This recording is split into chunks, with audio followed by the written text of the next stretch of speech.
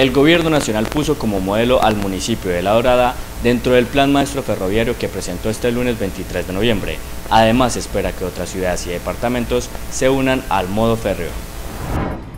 Dando cumplimiento a lo consagrado por primera vez en un Plan Nacional de Desarrollo, el presidente de la República, Iván Duque Márquez, hizo el lanzamiento del Plan Maestro Ferroviario, el cual surge como herramienta para potenciar las ventajas competitivas del modo, con miras al crecimiento del desarrollo económico, social y productivo del país.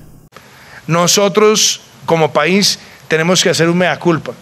Por muchas décadas nos olvidamos de los trenes. Los convertimos como una especie de testimonios del pasado que transitan casi que de manera sublime y hasta casi que luchando por su propia existencia por algunos de los puntos de Colombia.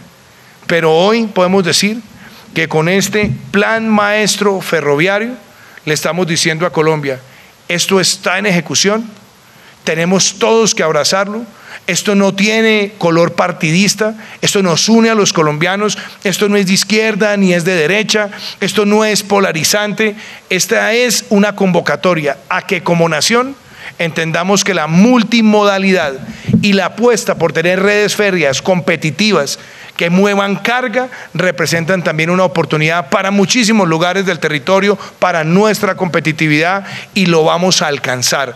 Los corredores La Dorada Santa Marta, La Dorada Cartagena y La Dorada Barranquilla han logrado consolidar operaciones con carga como maquinaria, acero, cemento, materias primas, refrescos, equipos para la industria petrolera, entre otros.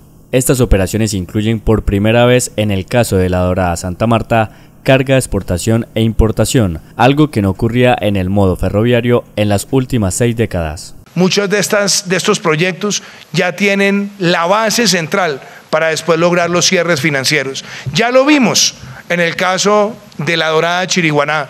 Ya lo hemos visto en los trayectos desde Belencito a Tocancipá. Ya lo hemos visto también donde tenemos las redes de carbón.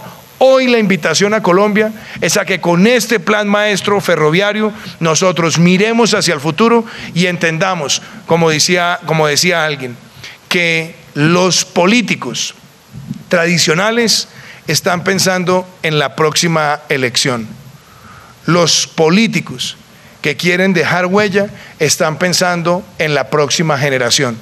Con esto sentamos las bases para avanzar desde ya y para dejarle a las próximas generaciones de colombianos la competitividad que se requiere en el transporte ferroviario de nuestra nación.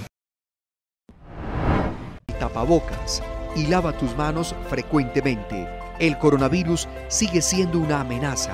Cuida de ti y de los tuyos. Gobierno de Caldas. Primero la gente.